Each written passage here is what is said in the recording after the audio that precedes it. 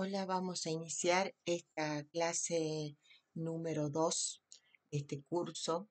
Esperamos en este caso avanzar con respecto a los enfoques con los cuales vamos a trabajar y también en relación a las habilidades digitales que podemos desarrollar. Algunas cuestiones para considerar. Primero, Recordemos que cuando hablábamos de los enfoques en la clase pasada, habíamos puesto hincapié en la bibliografía. Dentro de esa bibliografía que propusimos, habíamos rescatado sobre todo dos eh, libros. Uno es, eh, ambos están escritos en inglés, pero sabemos ya que eh, a través del traductor podemos llegar a muy, pero muy buenas eh, traducciones.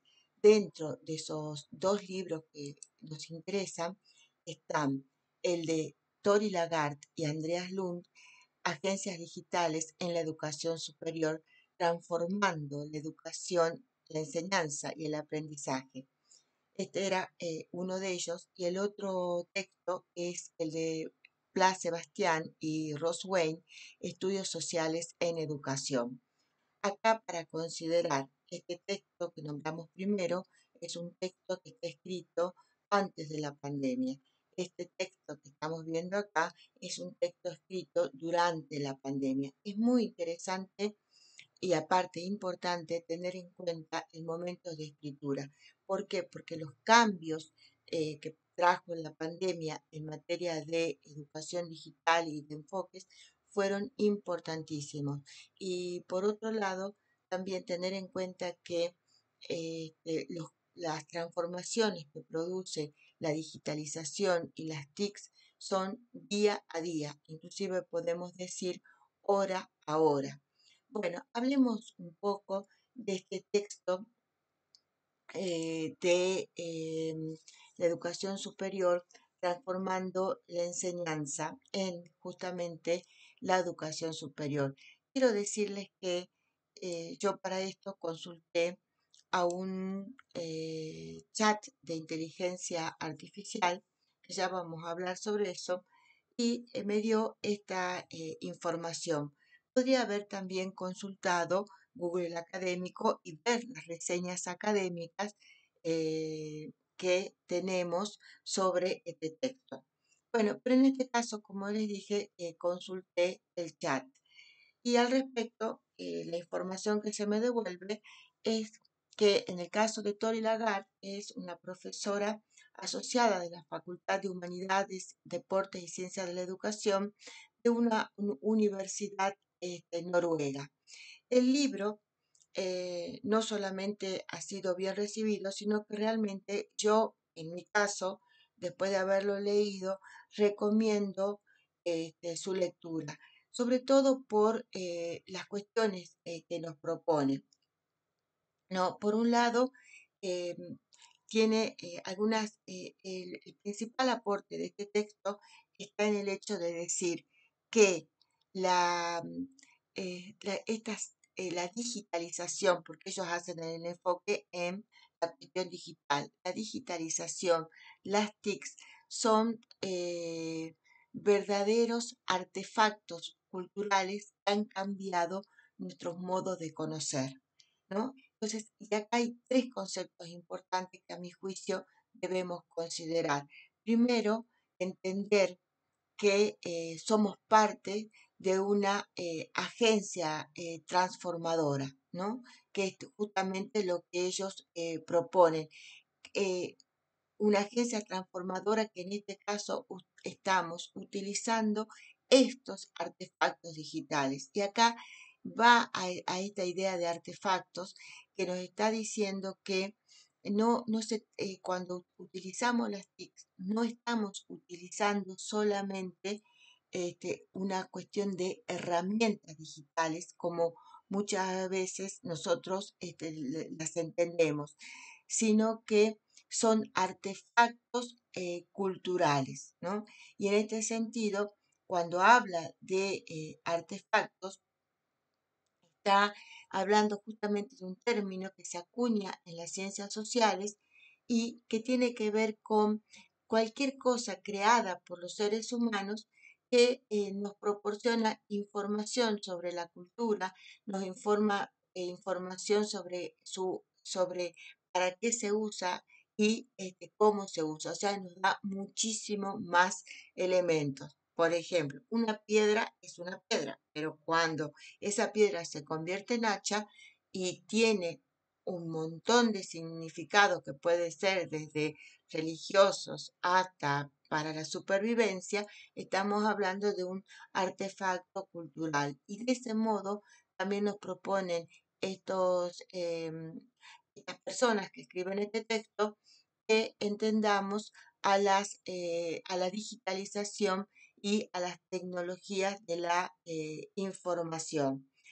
¿no? Artefactos culturales, agencias transformadoras. Y por otro lado, el otro gran concepto también me, resulta eh, interesante para trabajar es el tema de que estamos ante una transformación también de las prácticas epistémicas. Y esto eh, trae muchísima, pero muchísima discusión. ¿Por qué? Porque para alguna gente las TIC no significan una transformación en nuestro modo de conocer y para otras personas sí lo significan. Plantean que las TICs realmente han eh, transformado, ¿no? al ser tecnologías eh, inteligentes, en este caso, por ejemplo, con eh, todo lo que se ha incorporado en materia de inteligencia eh, artificial, han incorporado una manera diferente de producir el eh, conocimiento. Esto es una discusión que me parece importante que ustedes se las este, planteen.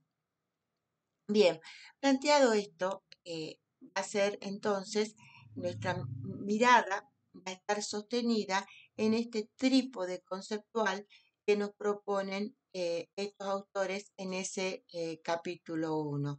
Es decir, estamos ante eh, artefactos culturales que nos proponen una situación de desplegar nuestras capacidades de agencias transformadoras y de eh, estar ante nuevas prácticas epistémicas. Y por otro lado, este texto de estudios eh, sociales en materia eh, de, educación en Latinoamérica, este texto trae reflexión para qué hacemos todas estas cosas, ¿no? Y en este caso hay un enfoque directo sobre los estudios sociales o las disciplinas depende de la currícula que se va a enseñar en cada eh, país latinoamericano, pero nos va a traer a colación, eh, más allá si son disciplinas, si son este, un conjunto de disciplinas, estos estudios sociales, de eh, por qué enseñamos, ¿no?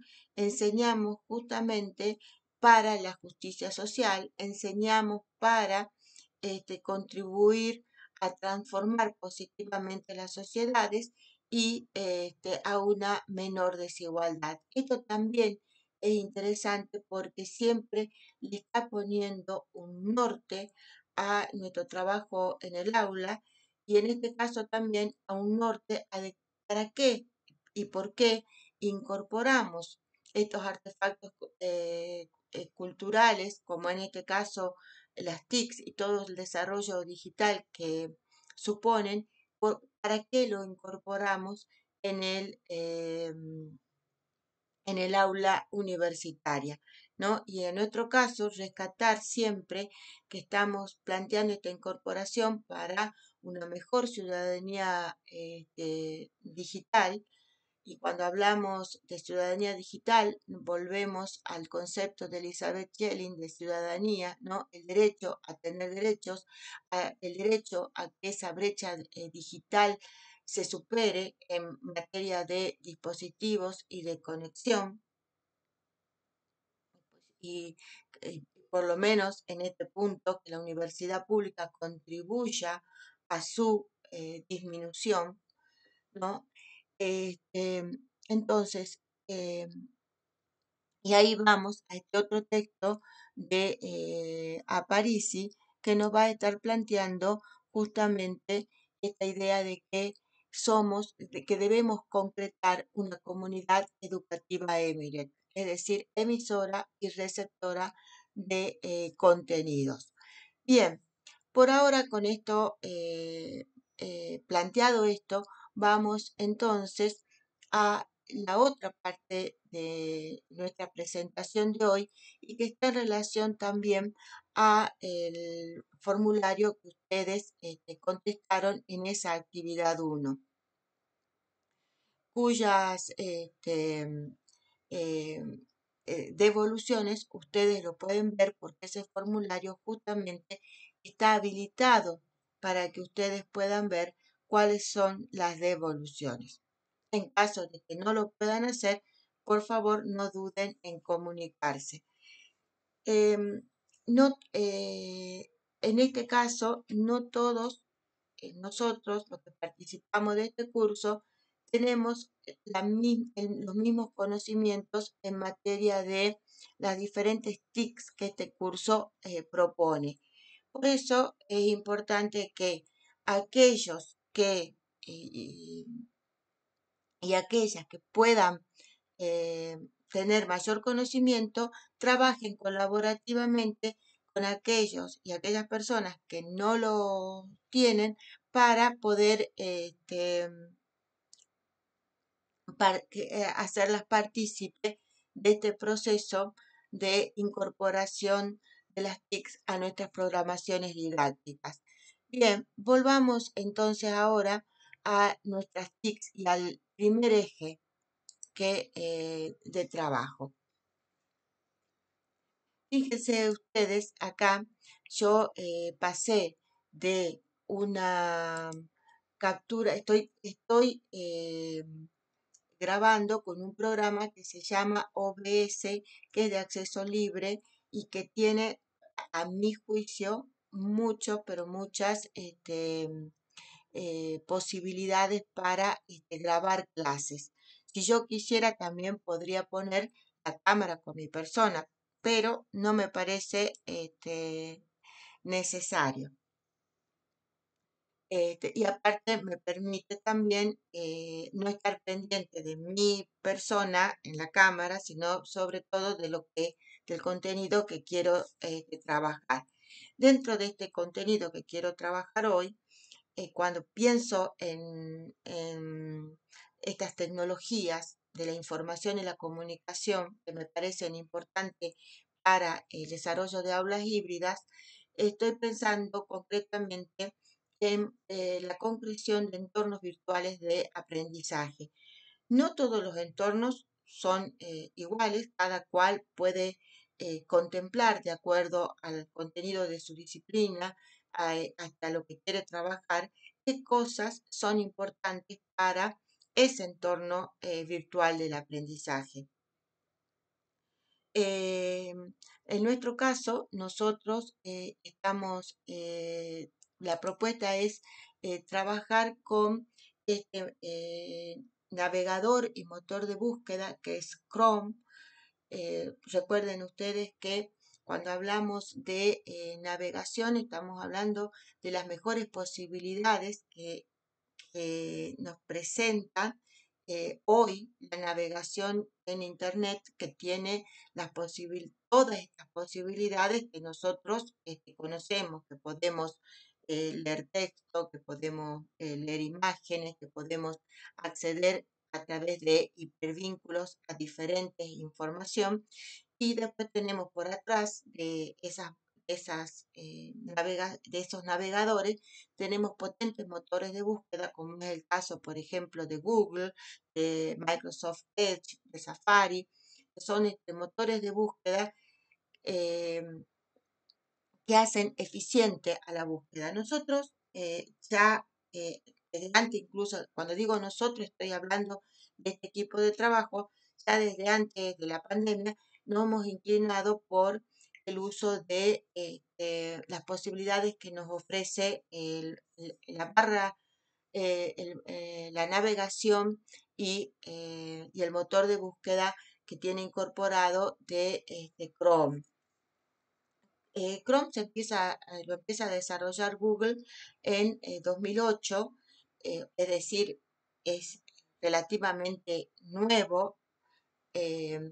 y lo que tiene Chrome, y, primero en lugar la cantidad de usuarios. Hoy aproximadamente el 65% de la gente que utiliza Internet utiliza este Chrome, inclusive eh, con diferentes entornos de sistemas eh, operativos. Hoy este, se, utiliza, eh, se, se, utiliza Chrome. Además, a través de, los, de nuestras cuentas institucionales, nosotros tenemos acceso a las barras de navegación de Chrome y todas sus posibilidades desde la, desde la cuenta y a las diferentes extensiones, que es lo que justamente ahora nos interesa. Entonces, en el caso concreto eh, del trabajo que nosotros hacemos en el aula, nosotros hemos planteado que, em, que nosotros necesitamos determinadas herramientas para optimizar eh, nuestro trabajo en el aula y por eso em, planteamos también que forman parte de nuestro entorno virtual de aprendizaje y entorno virtual obviamente de enseñanza y que contribuyen a una mejor enseñanza, en este caso eh, híbrida. ¿Cuál es eh, dentro de esta eh, barra de navegación la característica que tiene Chrome? Es que ofrece justamente las, esta barra de direcciones, que es el lugar al que yo quiero ir, en este caso, fíjense, lo que yo tengo acá es una figura de mi barra donde yo estoy trabajando con este, la aplicación este, eh, Jamboard. Así está hecha la imagen. ¿no? Entonces tengo mi dirección electrónica a la cual puedo enviar, esto es el signo de enviar, a la cual la puedo marcar como eh, significativa a través de utilizar esta estrella y este, esta bar, eh, la, característica y lo que hizo importante en su momento, en 2008, a, esta Chrome, es que a su vez integró la barra de herramientas. Y la barra de herramientas yo la puedo armar como yo quiero a través de las extensiones que me ofrece el uso de este navegador. En este momento en Chrome yo puedo acceder e incorporar 200.000 extensiones. Eh, y eso es lo, que hace interesante también a esta mm, experiencia de búsqueda, que es el hecho de que al tener eh, la posibilidad de que muchos desarrolladores libres puedan acceder y proponer diferentes este, soluciones digitales, eh, hace que se promueva una mayor cantidad de usuarios, se promueva también este, la seguridad, se promueva la sincronización son las características que tiene hoy Chrome que, eh, lo hace interesante eh, en cuanto a la competencia con otros navegadores y también el hecho de que tiene una base de acceso eh, libre, es decir, que no hay que pagar. bien, nosotros a, a, a quienes estudian les pedimos siempre que tengan una cuenta de Gmail. Hoy esto es este, común. Hace unos años no lo era eh, de ese modo. Lo mismo le decimos a ustedes. Si no tienen cuenta de Gmail, por favor tengan, eh, tenganla y esto lo vamos a explicar mejor en la clase que sigue. Ahora, eh, dentro de estas extensiones, para nosotros son importantes la, la extensión de Google Traductor, la extensión de Google Académico, la extensión eh, de Sotero, en este caso Sotero no pertenece al, entorno de, de, Google, de las extensiones de Google, pero se puede eh, incorporar, como ustedes ven, y también este, la extensión de Kami. Esto que ustedes ven acá es el símbolo de extensiones. Yo a través de este símbolo puedo entrar este, las extensiones, las puedo buscar y las puedo agendar. Otra cuestión que tengo que tener en cuenta es el perfil. fíjense que eh, lo que miro acá es mi perfil y mi cuenta. Siempre hay que tener eh, en claro que em, un perfil puede albergar, albergar a un montón de cuentas. ¿no? Entonces yo puedo usar este perfil lo puedo usar con diferentes cuentas. Este, y, esto y, se pueden eh, sincronizar y se pueden sincronizar todas las, búsquedas y em, eh, consultas que hago en eh, la web. Ahora, también se corre mucho riesgo si yo utilizo perfiles laborales y eh, trabajo con, en ese perfil laboral estoy trabajando con cuentas privadas. ¿Por qué? Porque se puede trasvasar la información y quedar la información agendada de mi cuenta privada, si yo no he salido, por ejemplo, correctamente en este perfil de navegación. Por eso, en el caso de nuestro trabajo y para evitar este, confusiones, y porque a veces uno trabaja con equipos diferentes, con cátedras diferentes, con, eh, entonces lo conveniente siempre es que yo vea que mi perfil esté en relación a mi cuenta. Por lo menos esto es lo que eh, mi, experiencia eh, aconseja. ustedes tienen acá los botones que ya conocen, que son los botones para navegar, el de adelante, el de atrás, esto de, recargar, que es muy importante para actualizar las páginas y no quedarnos con la imagen anterior de la página que consulté, por ejemplo, anteriormente. Y por otro lado, entonces tenemos nuestras eh, extensiones. ¿Cuál es el objetivo de este curso? En que, en que podamos nosotros este, incorporar todas estas eh, extensiones, por lo menos en nuestra barra de navegación. Y lo ideal sería que ustedes al final del curso puedan decir, miren, yo también quiero agregar estas extensiones que son necesarias para mi experiencia de enseñanza híbrida en eh, tal o cual eh, disciplina. Bien, este, planteado esto, esperamos las preguntas, las van a poder hacer tanto por el chat, las pueden hacer también por experiencias este, sincrónicas y también, este, obviamente, por este, mail. Veamos ahora eh, dentro cómo yo eh, hago eh, funcionar esto. A ver si lo podemos hacer y ustedes lo pueden ver y si lo puede transmitir el OBS. Esperemos que sí.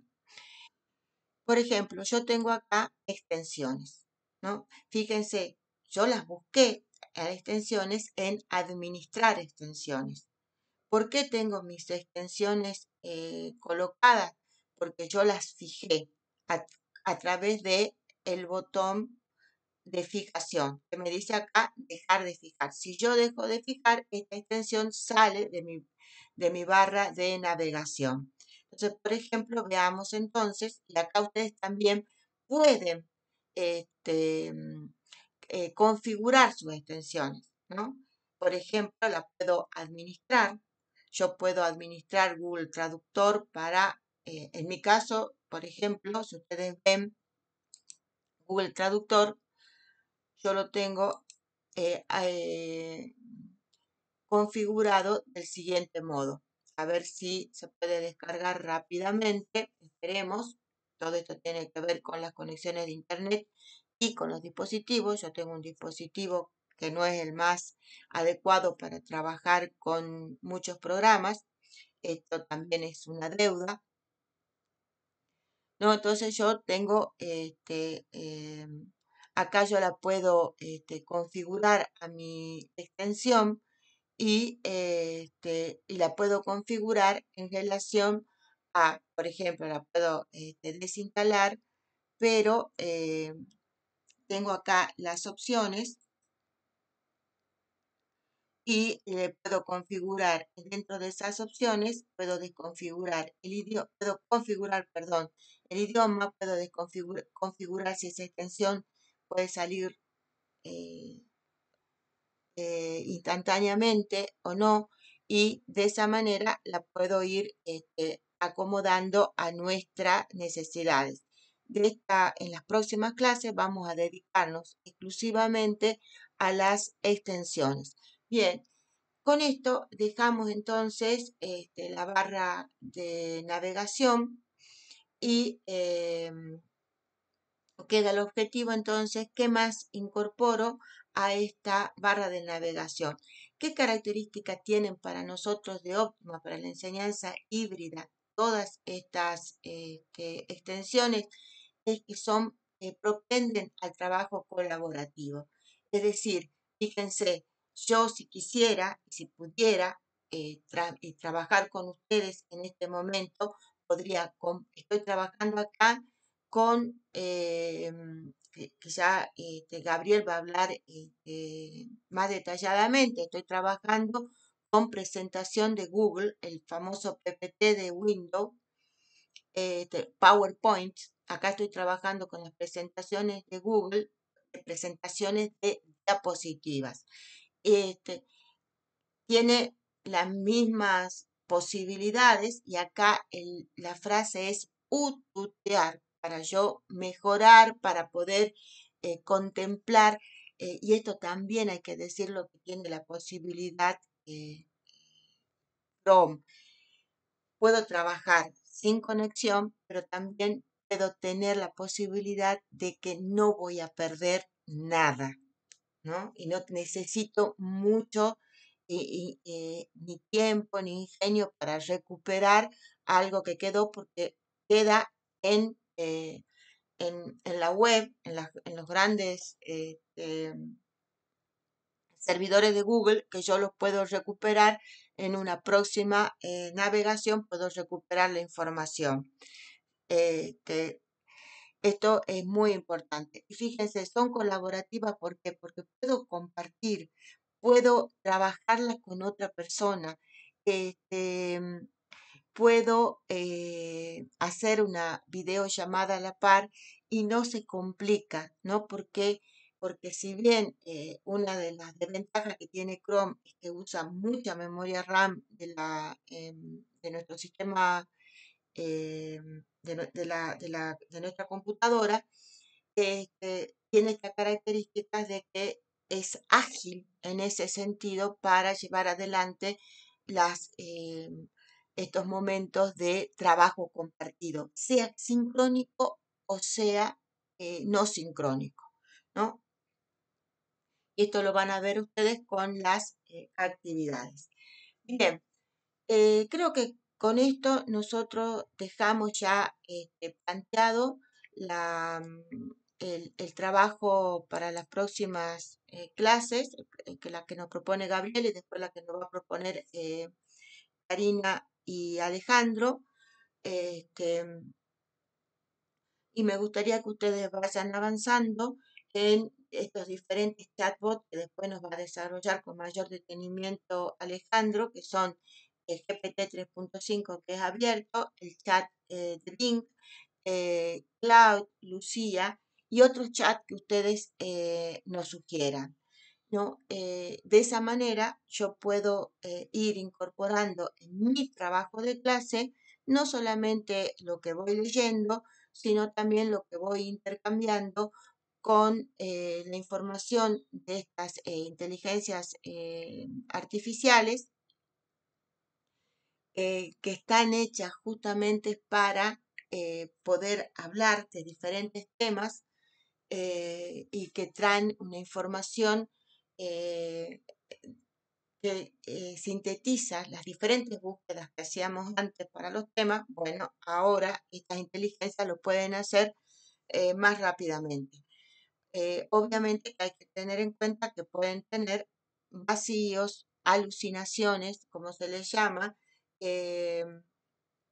eh, porque se van entrenando con eh, eh, el uso.